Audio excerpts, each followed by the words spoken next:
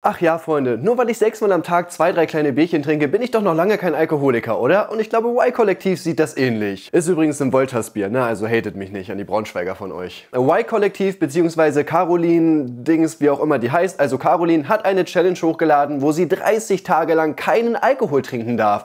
Eine ziemlich schwierige Aufgabe, wie sich herausstellt. Das Video und das dazugehörige Statement haben sie zwar entfernt, aber naja, ich kann hier Funk kritisieren, also natürlich nehme ich das mit. Äh, like das Video und lasst einen nice Kommentar da. Hiernach mache ich 30 Tage nüchtern. Ich wollte eigentlich heute anfangen, aber jetzt schmeckt es mir so gut. Und deshalb würde ich sagen, ich verschiebe den Start mal auf morgen. Chef, jetzt hören Sie mir was zu.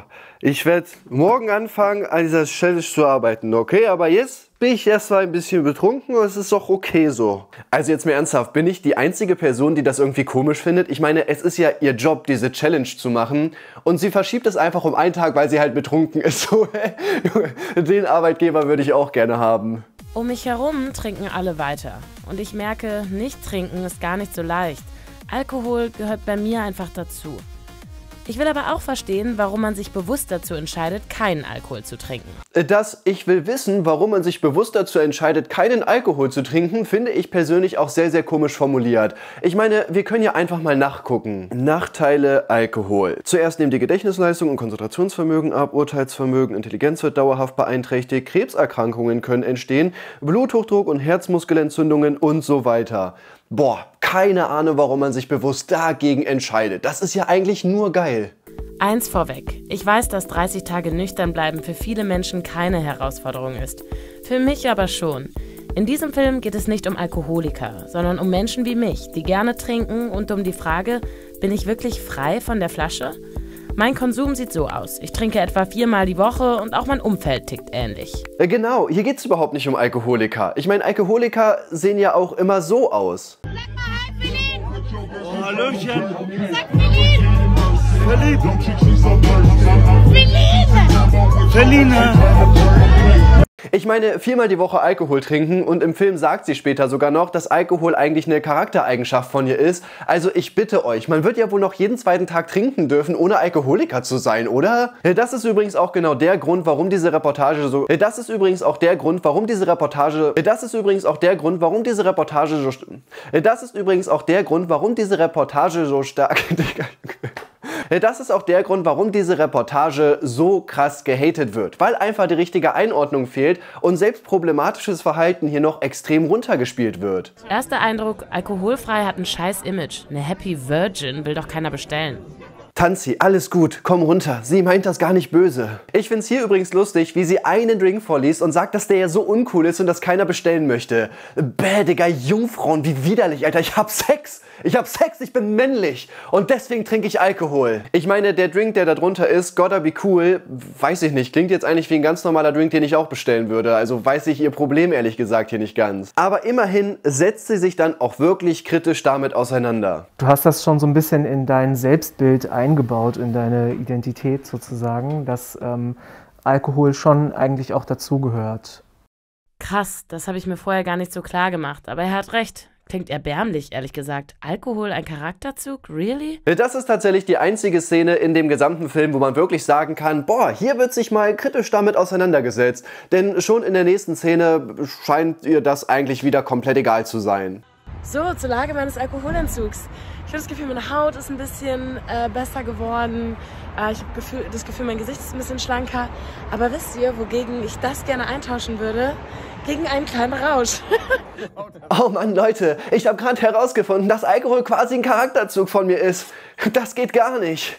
Ich hab jetzt so Bock zu saufen, Alter. Also, wie kann man denn eine Szene vorher noch sagen, dass man anscheinend ein Problem mit Alkohol hat? Und eine Szene später hat man das anscheinend komplett vergessen und sagt einfach so, boah, ich hätte jetzt so gerne wieder einen Rausch, Alter. Nach diesem Abend sagt mir übrigens jemand, der da war, dass er mich sehr zurückhaltend erlebt hat. Ein Satz, der sitzt. Ich erlebe mich auch an anderen Abenden während des Experiments ein bisschen gehemmt. Auch das ist eine wirklich sehr problematische Aussage in diesem Video. Dass man ohne Alkohol ein bisschen gehemmter ist und nicht so locker, das ist halt klar, weil das ist halt einfach die Wirkung von Alkohol. Allerdings darf man hier nicht vergessen, sie sitzt nicht neben irgendwelchen Leuten, die sie noch nie gesehen hat bei irgendeiner Geburtstagsparty, wo du dann irgendwo in der Ecke stehst und dir so denkst, ja, wird dann jetzt auch langsam wieder nach Hause gehen. Das sind halt ihre Freunde, die Leute, die sie eventuell schon jahrelang kennen und mit der die irgendwie viermal in der Woche immer saufen geht.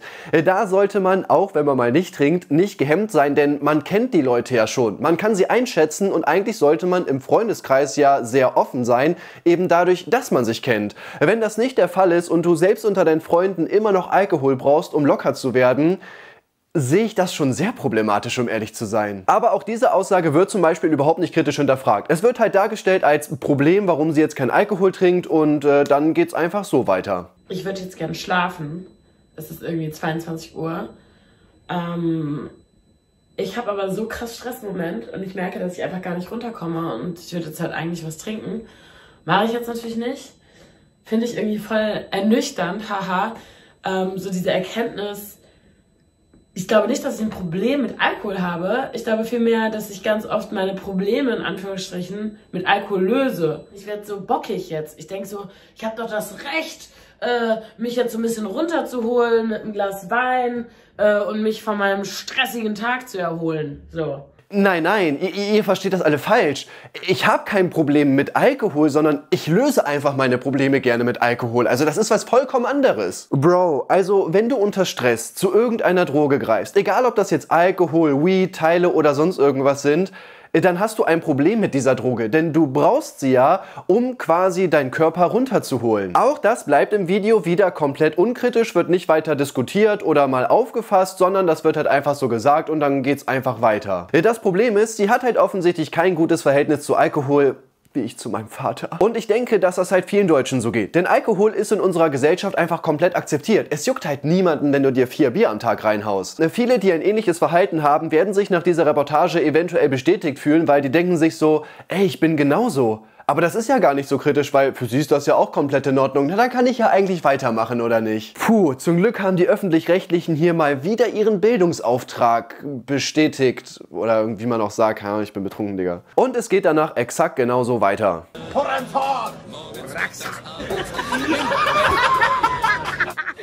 Guckt euch das doch mal an. So viel Spaß hatte ich, ehrlich gesagt, in den zwei Wochen nicht.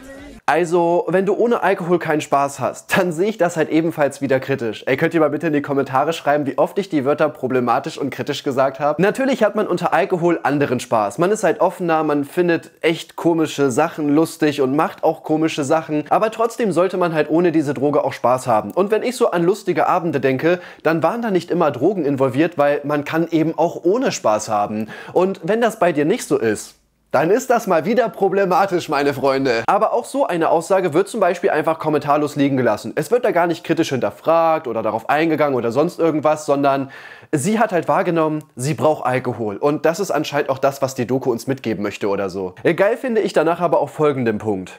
Einmal auch in der Kneipe und dann hat er zu mir gesagt, er trinkt keinen Alkohol. Und dann dachte ich so, Digga, sag das doch.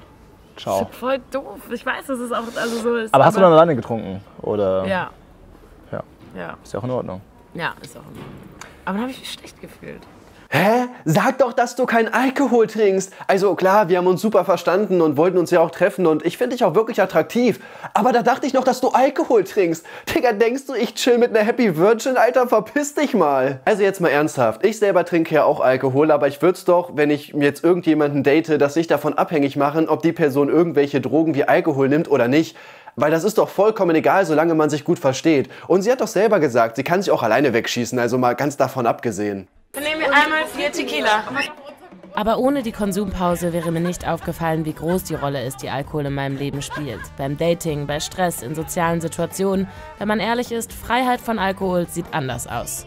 Okay, die Reportage endet damit, dass sie die 30 Tage geschafft hat. Und sie hat ja auch selber durch diese ganzen Aussagen eingesehen, äh, dass sie vielleicht ein kleines Problem mit Alkohol hat. Und wie macht man natürlich logischerweise dann weiter? Trotzdem nehme ich mir zumindest vor, so eine Konsumpause auch nächstes Jahr wieder einzulegen. Wenn es darum geht, einfach nur, dass ich Spaß haben will und deshalb äh, Alkohol auch dazu trinke, finde ich das zumindest für mein eigenes Leben nicht verwerflich. Klar, sie fängt einfach wieder an zu trinken. Das ist auch das, was ich nach diesen ganzen Szenen gemacht hätte, logischerweise. Also natürlich, sie kann machen, was sie möchte. Aber ich finde es sehr problematisch, dass bei den öffentlich-rechtlichen der Alkoholkonsum so krass runtergespielt wird. Und das Fazit ist, ja, ich habe ein Problem, ist mir aber egal, ich sauf weiter. Vielleicht mache ich nächstes Jahr nochmal so eine Pause und dann, dann passt das schon. Es wird sich halt tatsächlich null kritisch damit auseinandergesetzt. Das einzige Kritische war, wo sie wirklich mal zu dieser Alkoholberatung gegangen ist. Was ich hier aber nicht ganz verstehe, warum macht sie das am Anfang direkt? Viel klüger wäre es doch gewesen, am letzten Tag der Challenge dahin zu gehen, diese ganzen problematischen Aussagen zu sammeln und dann mit diesen Typen mal abzuklären, wie problematisch das wirklich ist. Da hätten die Zuschauer wirklich einiges gelernt, anstatt dass eine kritische Aussage nach der anderen kommt, aber das Fazit ist dann trotzdem einfach weiter zu trinken. Wie gesagt, wurde das Video einige Zeit später wieder entfernt, wegen den ganzen Aussagen, die ich euch gerade gezeigt habe, aber Caroline hat tatsächlich dann noch ein Statement dazu hochgeladen. Wer jetzt allerdings denkt, dass das Statement in irgendeiner Art und Weise besser ist, äh, falsch. Da sagt sie zum Beispiel folgendes. Ähm, und ich finde auch, dass das Echo ja ganz deutlich zeigt, dass das eben kein alkoholverharmlosender Film war. Also ich glaube, die wenigsten Leute würden jetzt sagen, der Film hat irgendwie Werbung für Alkohol gemacht. Werbung vor Alkohol haben sie logischerweise nicht gemacht und das kam auch nicht so rüber. Aber ich sag mal, sie haben quasi Werbung für problematischen Alkoholkonsum gemacht beziehungsweise das Ganze runtergespielt. Und dadurch, dass Alkohol ja sowieso schon in unserer Gesellschaft sehr krass akzeptiert ist und viele Leute ihre Grenzen nicht kennen, beziehungsweise glaube ich viele Leute ein ähnliches problematisches Trinkverhalten haben, kommt das Ganze bei den öffentlich-rechtlichen logischerweise halt nicht ganz so gut. Vieles einfach selbsterklärend finde. Also wenn da jemand sitzt und sagt, hey, ich definiere mich über meinen Konsum, dann finde ich, sagt das genug aus und dann brauche ich das nicht unbedingt nochmal abnehmen im Off-Text. Dass das wirklich eine schwierige Aussage von ihr gewesen ist, ist halt richtig. Und die sollte einem natürlich auch zum Nachdenken anregen. Hat es allerdings ja nicht gemacht, denn sonst wäre das Fazit ja nicht gewesen, einfach so weiter zu trinken und zu sagen, naja, ich mache nächstes Jahr nochmal so eine Pause und dann kann ich mich die restlichen elf Monate Monate ja viermal in der Woche wegschießen. Ist doch alles super, oder nicht? Yay, Alkohol! Die ganzen negativen Punkte, alles, was sie gesagt hat, wird halt einfach so stehen gelassen und im Endeffekt juckt sie das halt auch gar nicht. Min, äh, höchstens fünf Standardgläser die Woche trinken und Männer zehn. Ein Standardglas ist ein Bier oder ein kleines Glas Wein.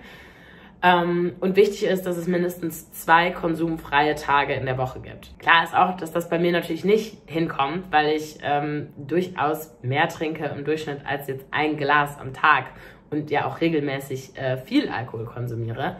Ähm, trotzdem wollte ich das einfach nochmal klar machen, dass, die, dieser, dass dieser Schluss, ey, wer viermal die Woche trinkt, von dem brauche ich mir gar nichts mehr ähm, erzählen zu lassen, weil der ist Alkoholiker ähm, dass der falsch ist. Ich finde es übrigens lustig, wie sich am Ende nochmal sagt, dass ein unproblematisches Alkoholkonsumverhalten oder wie auch immer bei einer Frau fünf Standardgläser Alkohol sind, also ein Bier oder ein Wein. Und einen Satz später sagt sie, ja gut, also da bin ich auch, auch mega drüber. Also ich trinke so viel, also das kommt bei mir überhaupt gar nicht hin. Ich meine, sie wollte sich doch eigentlich damit verteidigen gerade, dass sie keine Alkoholikerin ist macht ja aber quasi genau das Gegenteil, denn sie gibt ja zu, dass ihr Alkoholkonsum wirklich problematisch ist. Ob sie halt jetzt wirklich eine Alkoholikerin ist oder nicht, das will ich als Ferndiagnose hier gar nicht abgeben. Aber was wir auf jeden Fall festhalten können, ist, dass sie einen sehr problematischen Umgang mit dieser Droge hat, das Ganze aber kaum kritisch hinterfragt wird und es für sie auch in Ordnung ist, halt genauso weiterzumachen. Und ich meine, sie kann ja auch so weitermachen. Ich will ihr jetzt gar nichts vorschreiben, aber bei den öffentlich-rechtlichen wurde hier jetzt einfach gerade sehr krasser Alkoholkonsum schon sehr runtergespielt. Und ich weiß nicht, ob das so wirklich den Bildungsauftrag bestätigt, den die Öffentlich-Rechtlichen normalerweise haben. Naja, ich gehe jetzt wieder saufen, ich hole mir noch mal zwei, drei Bier oder so und dann gucke ich mal. Leute, vielen lieben Dank, like das Video, lasst einen Kommentar da, lasst uns saufen und wir sehen uns. Ciao. Okay, thanks, bye.